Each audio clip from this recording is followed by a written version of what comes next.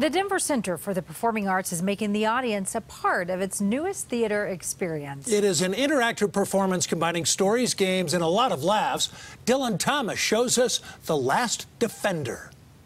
The DCPA's newest experience is taking immersive theater to the next level, challenging ticket holders to step in and prevent World War III.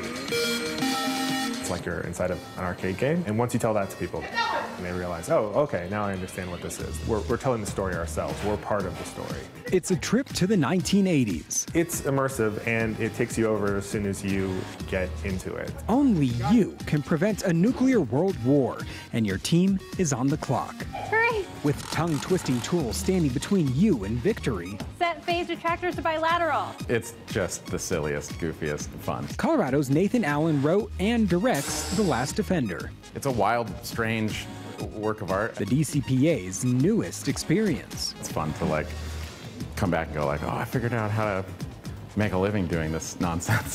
so it's, it's fun to share with old friends. This experience takes you, the ticket holder, into the story. Interact with capacitive.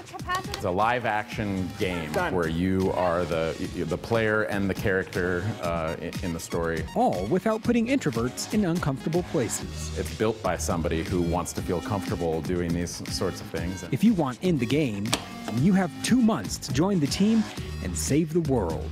At the end of it, we see you know friends and complete strangers just sort of high-fiving and hugging each other. It's if you'd like to help prevent World War III with The Last Defender, visit cbsdenver.com. We have information on how you can buy tickets. In Denver, Dylan Thomas covering Colorado First.